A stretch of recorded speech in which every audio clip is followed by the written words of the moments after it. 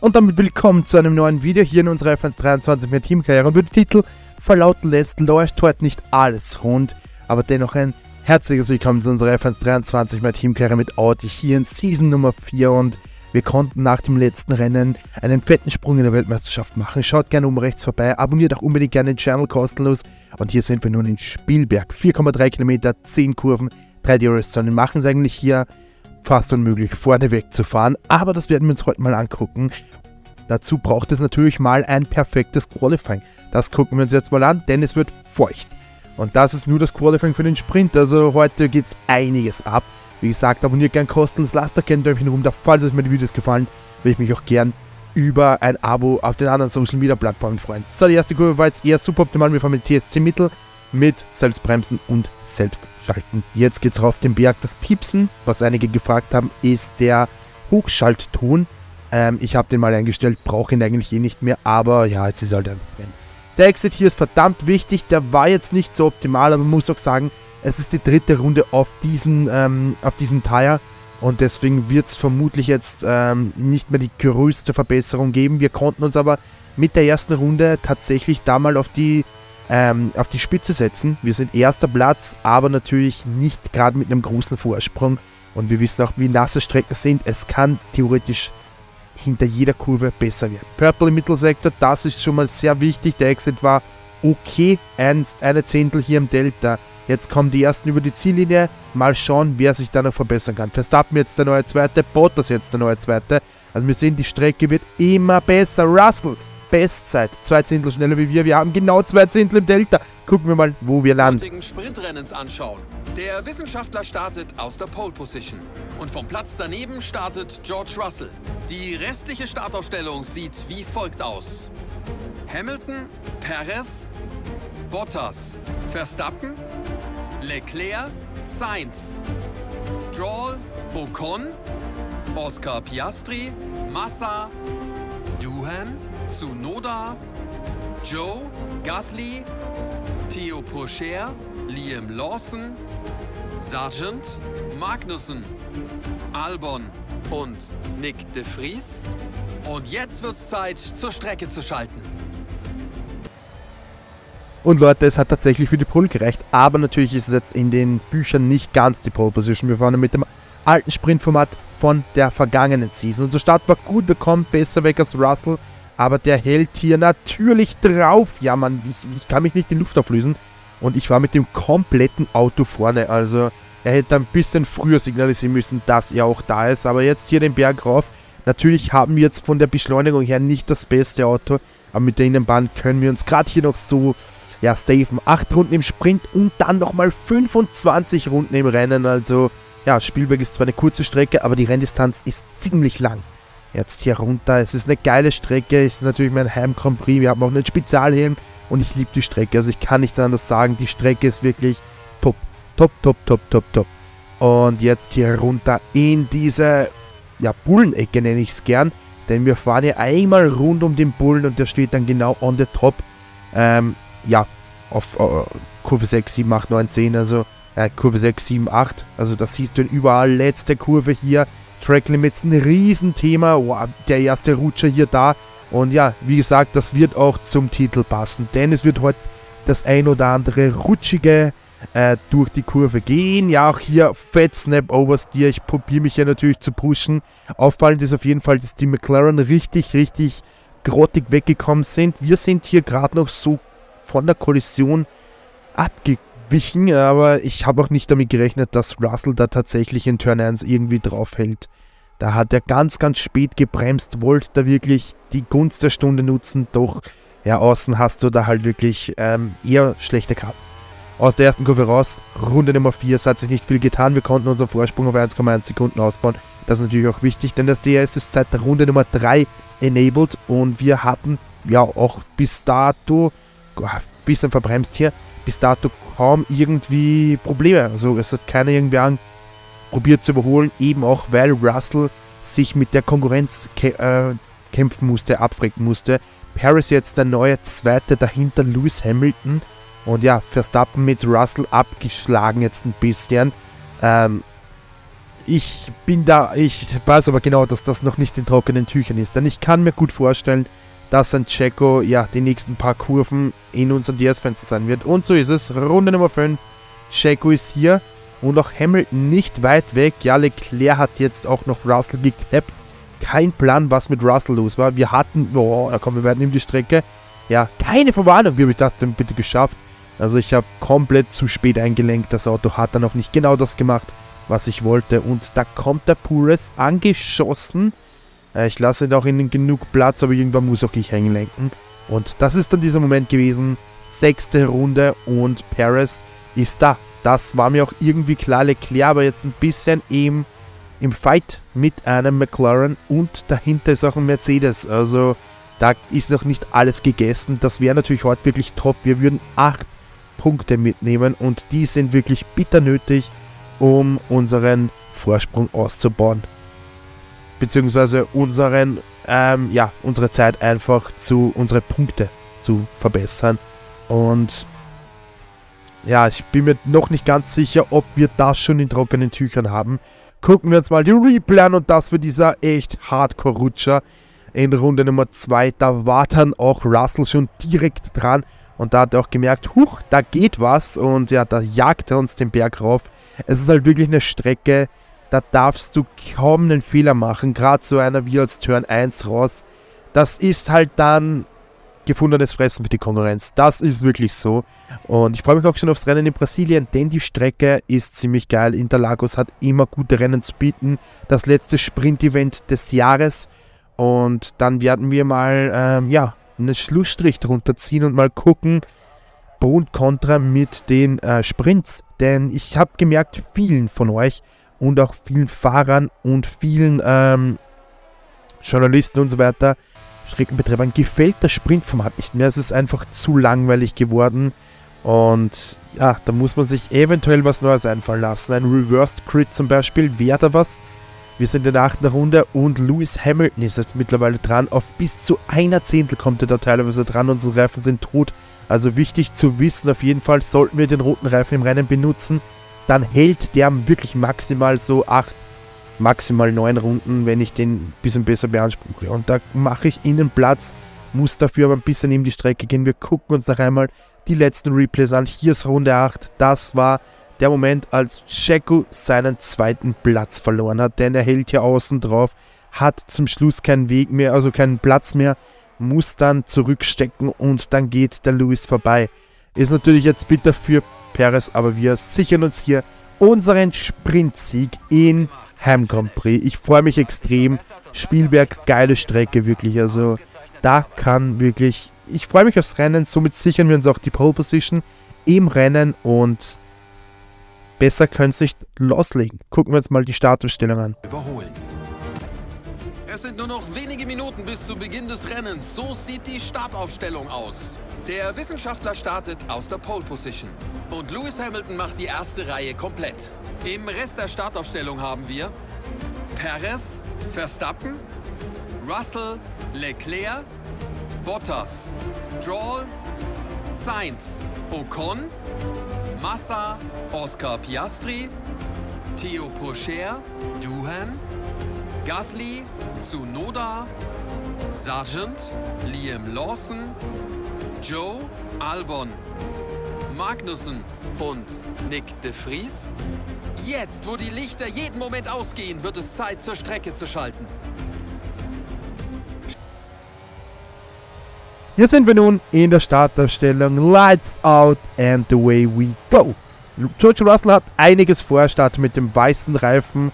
Das wird nicht funktionieren, Bro. Das funktioniert absolut nicht. Wir kommen gut weg, müssen aber hier mal die Lenkung ein bisschen aufmachen, denn ich weiß genau, was Luis hier vorhatte. Der wollte da wirklich reinhalten, aber das juckt mich ehrlich gesagt nicht. Wir bleiben hier unserer Linie treu. Ich bleibe hier innen um vielleicht den besseren Exit zu haben. Und er rattert da richtig über den Körper innen drüber. Da können wir uns die Führung nochmal zurückholen, auch wenn ich glaube, dass, dass wir da generell, glaube ich, die besseren Karten hatten. Der Move war nicht ganz gut durchdacht von dem Lewis und da, da, ja, da reinzuhalten, das ist halt auch wirklich sehr dumm.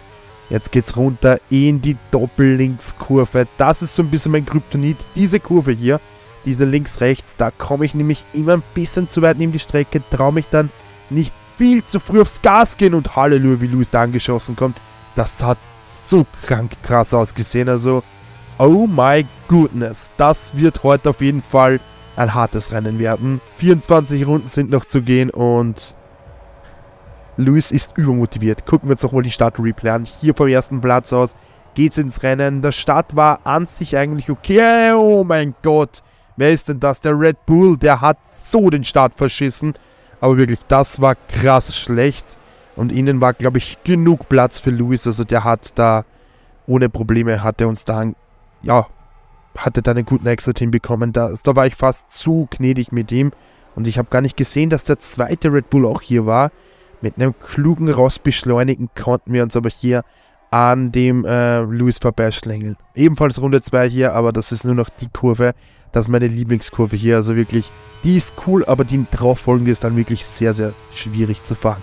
Sechs Zehntel und das war mir irgendwie klar, dass das Rennen heute eine, ja, knappe Sache werden wird. Also Lewis, der drückt an, Verstappen dahinter, Leclerc dahinter, Stroll dahinter. Das sind halt alles Autos, die, glaube ich, von der Grundpace her ein bisschen schneller sind wie wir.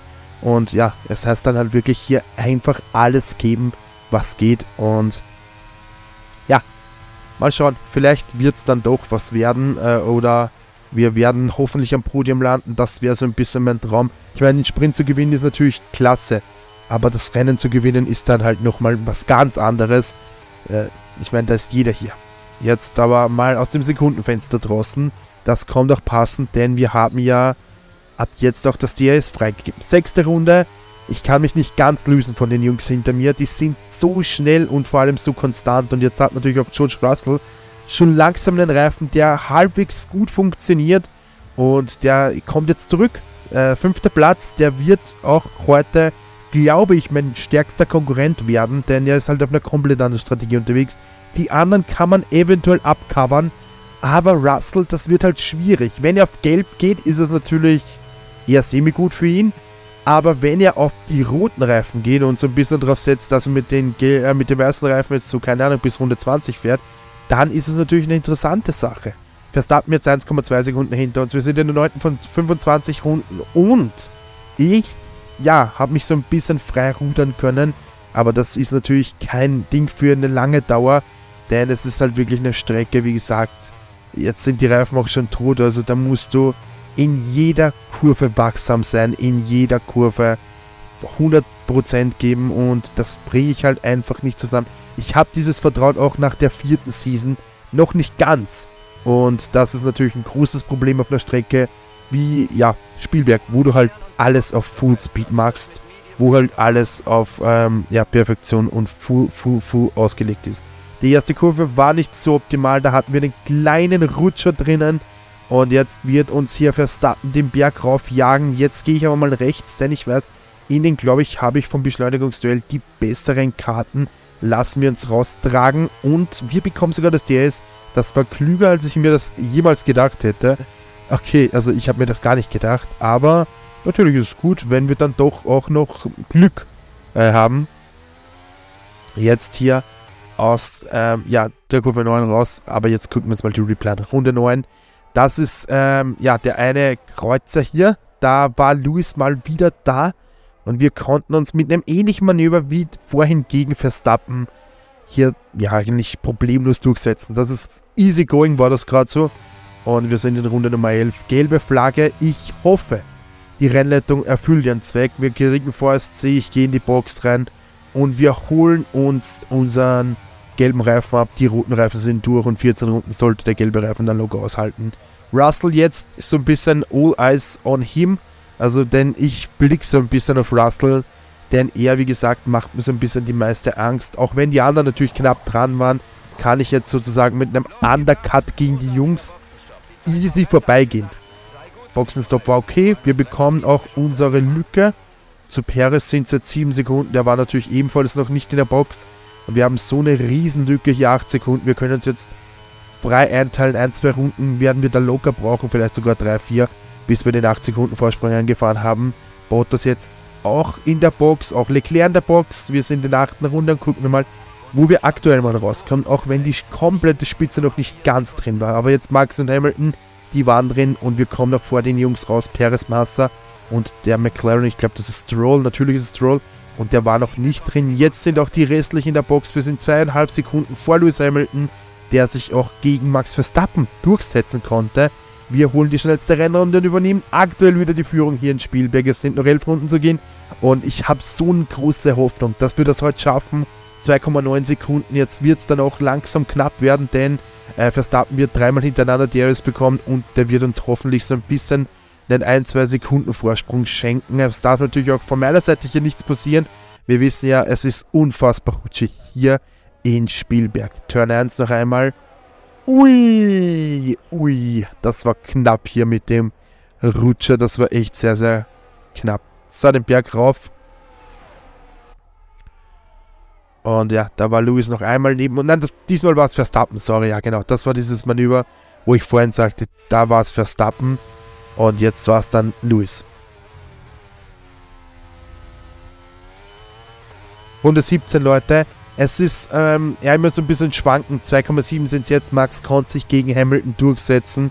Und wir müssen so ein bisschen, oder ich muss hier wieder so ein bisschen hadern. Denn das Auto, gerade auch die Reifen, wir haben natürlich noch einen älteren Satz. Und das macht das Ganze natürlich jetzt nicht einfacher für uns. Und ja, aber ich glaube mal, es könnte heute ein gutes Ergebnis für uns werden. Selbst wenn uns Max noch einholen wird, heißt das natürlich auch nicht, dass er direkt an uns vorbeigeht, denn ich werde es ihn nicht so einfach machen. Es ist eine Strecke, wo es halt wirklich auf vieles ankommt. Runde 18 und DRS.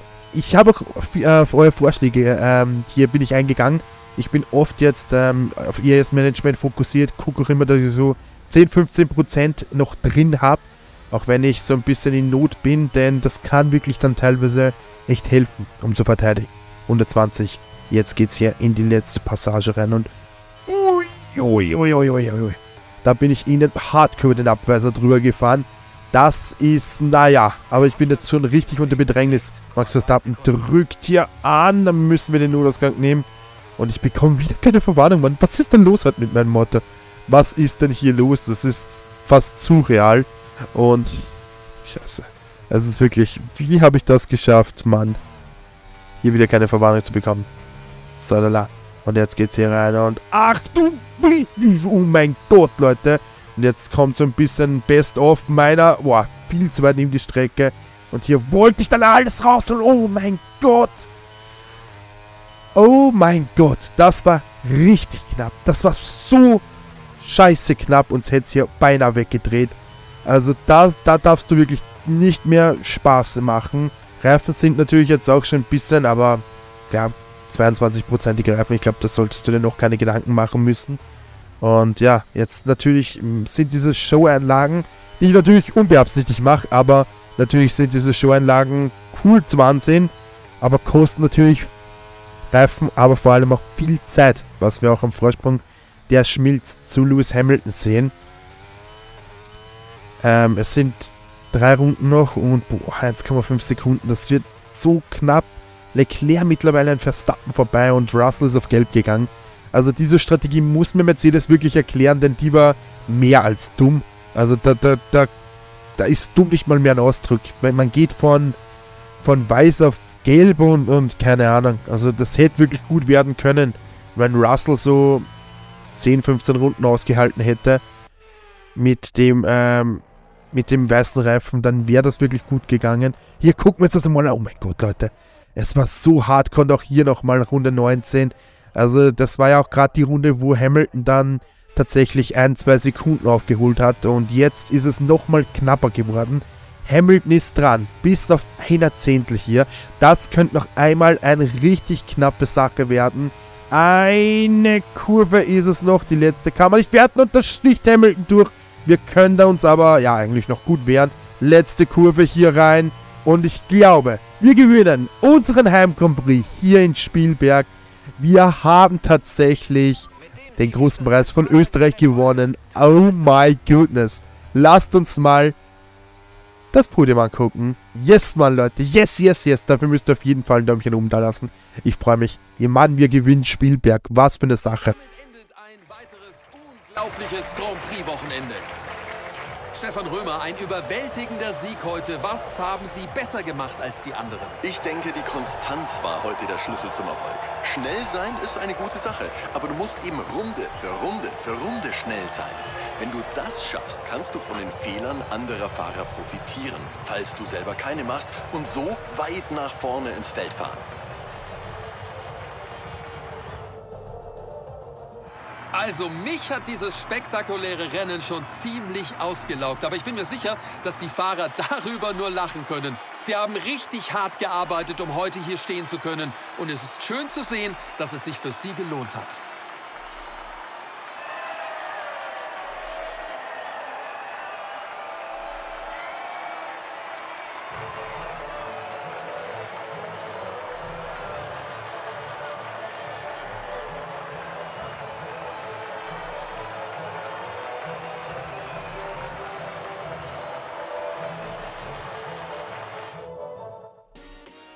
Wir gewinnen hier und das glaube ich auch nicht gerade unverdient.